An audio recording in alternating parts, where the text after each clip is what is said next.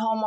ส่งคนมาตีเส้นนูนชะลอความเร็ว ก่อนถึงทางม้าลาย จุดรถชนหมอกระต่าย เมื่อกลางดึกที่ผ่านมา เจ้าหน้าที่กรุงเทพมหานคร ได้มาตีเส้นนูนชะลอความเร็ว และเส้นบีบช่องจราจรให้เล็กลง บนถนนพญาไทช่วงหน้าสถาบันโลกไต ภูมิราชนคริน ทั้งฝั่งขาเข้าและขาออก ก่อนถึงทางข้ามม้าลายประมาณ 50 เมตร เพื่อให้ถนนมีพื้นผิวเป็นคลื่น เป็นสัญญาณให้ชะลอความเร็ว ก่อนถึงทางม้าลาย เพื่อลดความเสี่ยงการเกิดอุบัติเหตุ